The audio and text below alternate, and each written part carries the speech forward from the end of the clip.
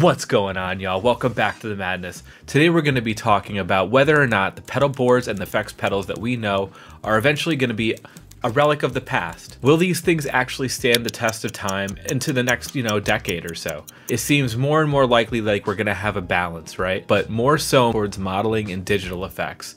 Because as we've seen, from companies like Fractal Audio, uh, Helix, and Kemper. You know, all those devices can basically replicate everything that we've loved in, in the analog realm, and they've brought it into a smaller form factor, lighter weight, and honestly more capable. Maybe not in the perfect replication of the sound, but enough to get enough, you know, under your belt to really kind of tinker with it and get it going. So that's what we're going to talk about today. We're going to be talking about whether or not these things are just going to be kind of obliterated by the modern day digital realm and how far and how amazing amazing the technology has become over the past half decade.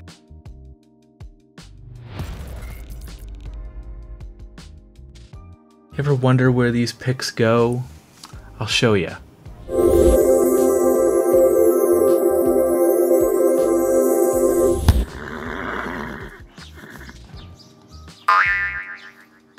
I initially started off using, obviously, in my past, you know, there was no real modelers. You know, the first ones that I really saw were like the Line 6 Spider and, uh, you know, the, the Katana and stuff like that. Th those were back in like 2007, 2008 when I first started seeing my first modelers. And to be fair, they sounded like garbage, which is why they probably didn't really take off until, you know, the later half of the 2010 to 2020 decade. I mean, what I used to have was I had a orange TC30, you know, and uh, that was a really great tube amp, and I had a pedal train with a whole bunch of different pedals. But I tried to keep my pedal board relatively minimalist, you know, just because I didn't want to have to stomp on a bunch of pedals when I was playing out. Eventually, I just kind of sold everything though. I got the Fractal Audio Axe-Fx 3 and I haven't looked back really, you know, because I can tinker with this thing and really modify the blocks as much as I want to and make a sound essentially the same thing as a as all of the pedals that I, you know, grew up and loved. So there's no real loss aside from just having to dial in those specific blocks in order to get the pedal sounds that I wanted you know, from back then. So if I wanted to replicate the sounds that I've got from back on my tube amp, it takes a bit of effort instead of just plugging in, turning a couple dials and getting a sound that you really want. Yeah, there's more effort to go into it, but then once you get it, you just save it off and then you keep it for the rest of your life. The problem really is, is that every time a pedal comes out, you're not really able to expand your real estate of your pedal board, right?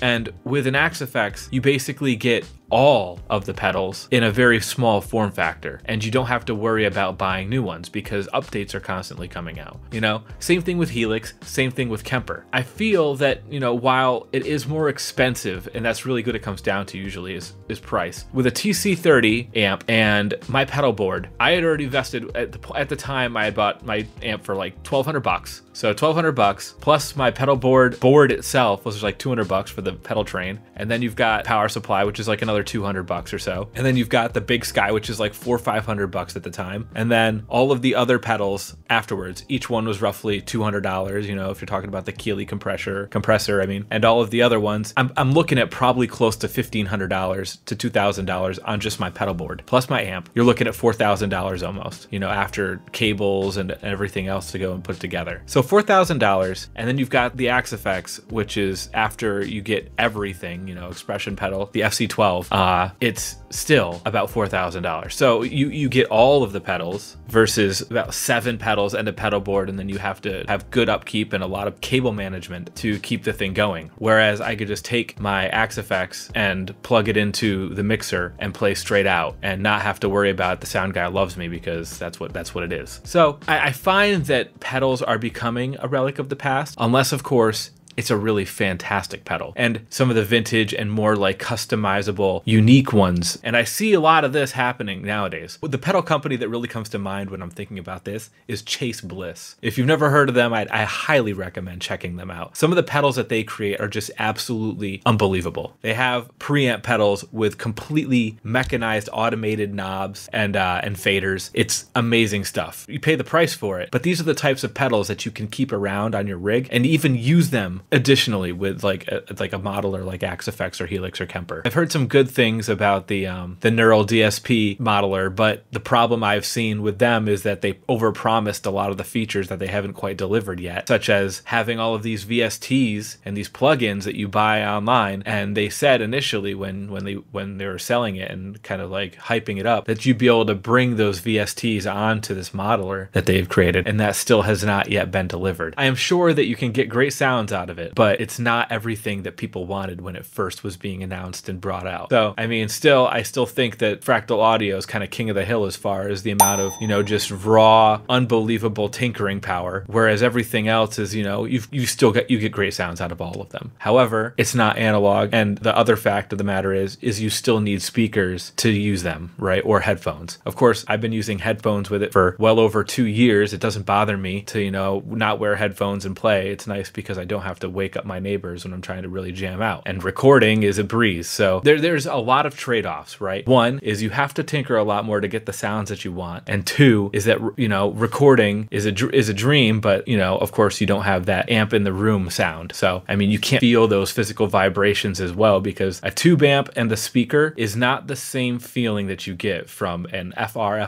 um, you know, set of speaker monitors. Pedals are never going to go away. I think that they're going to stick around as long as they have a purpose, but I do think that overall modelers are going to be the future. There's going to be some small form factor pedal, uh, whether or not it has multiple knobs, controllable via some other means, um, controllable through your headphones, you know, whatever. It doesn't really matter. It's going to be moving into a smaller form factor, more powerful, more capable, and it's going to be, you know, incredibly useful. It's it's going to be super easy to program what you need done with these modelers. I don't know. I think it sounds like a great time. Sounds like the future to me. But Hope you got something out of this. If you think that this is like wrong, let me know in the comments. I'd like to hear your opinion. What do you think? Where do you think the pedal industry is going to go now that modelers are so powerful?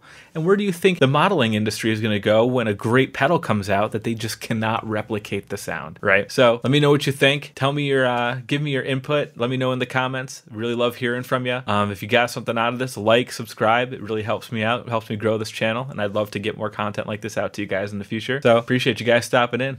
Till next time, I'll catch you all on the flippy floppy, y'all. Ciao for now.